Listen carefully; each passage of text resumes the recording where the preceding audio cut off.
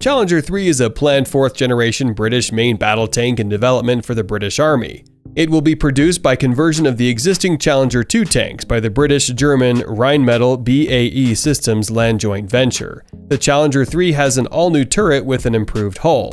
The most significant change from Challenger 2 to Challenger 3 is the replacement of the Challenger's main armament from a 120mm L30A1 rifled main gun to the 120mm L55A1 smoothbore gun, giving commonality with other NATO members.